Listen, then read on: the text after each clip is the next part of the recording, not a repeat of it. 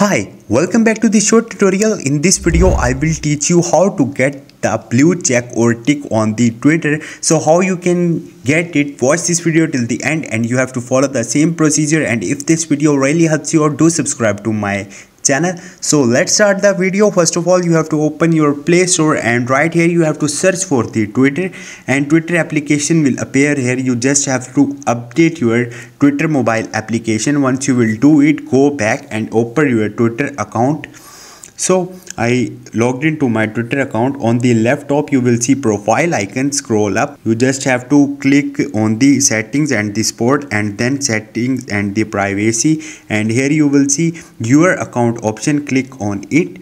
And after that you have to click on the account information once you will click on the account information you will get the option of the uh, verification. You just have to click on it and then your uh, verification will be start. You have to pay for uh, you have to pay eight dollar per month uh, according to the elon musk. So uh, this is the way. Hope this video will helpful for you. If you have any question or any confusion just drop a comment. I will try to help you. Thank you